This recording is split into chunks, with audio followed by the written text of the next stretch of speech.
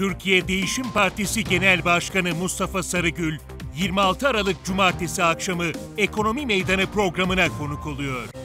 Seda Akbay soruyor, Mustafa Sarıgül cevaplıyor. Ekonomi Meydanı, Cumartesi akşam saat 20.30'da canlı yayınla BBN Türk'te.